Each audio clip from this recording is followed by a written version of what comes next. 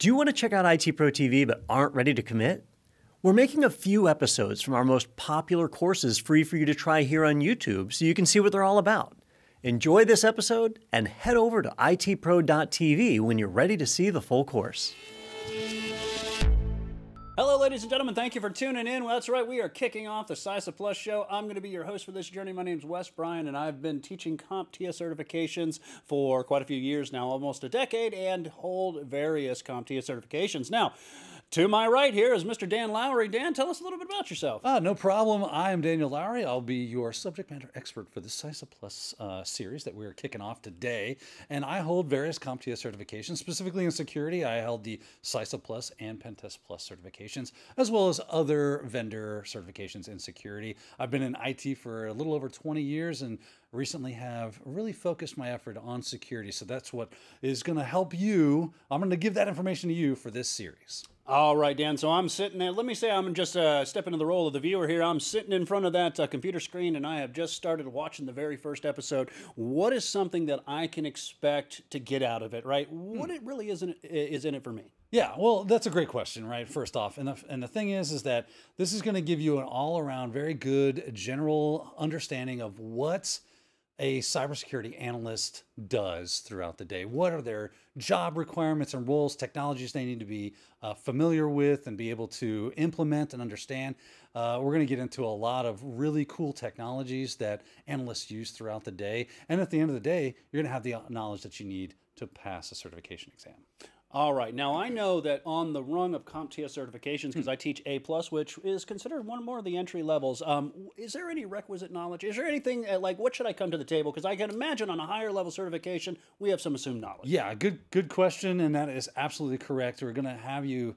Uh, you're going to need to know a few things about computers. You can't just walk in off the street and say, "I'm going to get CySA Plus." This is an intermediate level exam, so they have a lot of basic computing, system administration, network understanding, and even security concepts before you walk in the door and try to do some CySA, right? So uh, make sure that you have that knowledge. If you don't, no problem. We have all that in our library for you, so you can check that stuff out. And then once you get up to speed, you can come right back here and check out CySA Plus, and then uh, go for that certification. Very good. Now, I also know that when we are teaching or instructing, if you will, when it comes to CompTIA courses, you know, how it's structured, a lot of times is based on the exam objectives. Is that a little bit of how this is going to be structured? Yeah, it's exactly how it's going to be structured. They have uh, broken down the exam into five different exam objectives. We like, we can jump into my computer, we can start learning a little more about the certification, and then uh, we'll move into the process of that. So here we are, I'm on their uh, CompTIA's website there is the uh, URL for that, comptia.org forward slash certifications forward slash cybersecurity dash analyst. That's a mouthful. But as we move down, we start to see, you know, what the certification is about, about the exam just a bit, and then we have the skills that we're going to learn. These are the domains for the CySA Plus exam. So threat and vulnerability management, security operations and monitoring, software and system security, incident response, that's a big one, uh, compliance and assessment, another really uh, difficult one, but important for this exam. So there's your domains.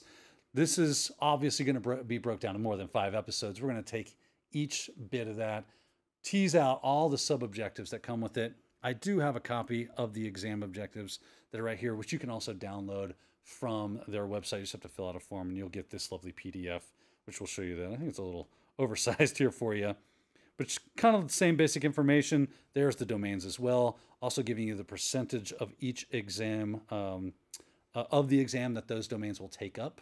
So you can kind of like weight your uh, importance on those things. And of course, all those subtopics. So I won't read this out for you. I'll let you go ahead and download that for yourself. And then we'll move down into uh, some more exam details, specifically uh, length of test 165 minutes. It is a multiple choice, performance based, maximum of 85 questions. You need a passing score of 750 to uh, to get that cert. Other good things about this is like where can you get the test at? Well, Pearson VUE uh, provider, so you can click those links and go there. And then there's the price 359 US dollars will get you a chance to sit at the seat and walk away with certification. So hopefully that helps you out there. All right, Dan, I tell you, that, you know, I know why I'm excited to be a part of this certification journey, and that's because, well, who doesn't like security, right? That's important, and I know that uh, it's something that I enjoy. What are you looking forward to? I'm looking forward to this because this is the latest and greatest uh, for defensive type of security, and they've done a really good job with this exam and the information that lies within. So it's going to be a lot of fun to go through those technologies and concepts and pass that knowledge on along to you. All right, ladies and gentlemen, we know that we're looking forward to having you join us. So if this is, sounds like a certification exam that you want to tackle, stick around because, well, we're just kicking this journey off and there's a lot more to come. Thank you for watching IT Pro TV.